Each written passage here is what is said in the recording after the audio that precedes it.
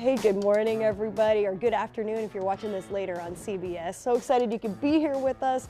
Ryan is off today. We miss him, of course, but I'm excited to be hanging out with my friend Kurt Streblow.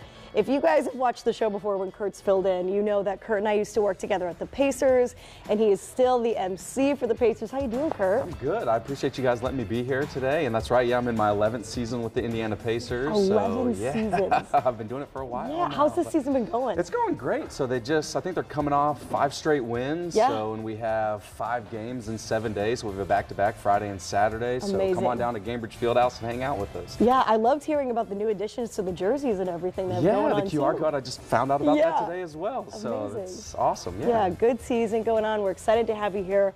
We have a really exciting show. Everything's bustling around the studio right now because we have so many things to tell you about. And we always like to start things off oh on, On a a good, good note. Note. See, Kurt, you know the deal. That's Think right. you through. So today's on a good note is about our friend Margie, who turned 90 years young on Christmas. If you watch regularly, you know that Margie loves to visit the restaurants that we feature on the show, and then we love sharing her adventures. So we had her here for a special surprise in the studio for her birthday right before our show went on a little break. And she gave us custom mugs from a local company called Crazy Crafter Chicks.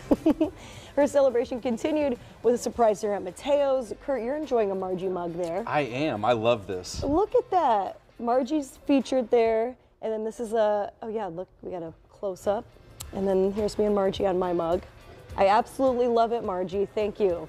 It's fun appreciate it. having this today as a little change up from our regular mug. So cheers to Margie. She got to celebrate at Matteo's in Noblesville. Then she took the party over to the casino and Shell.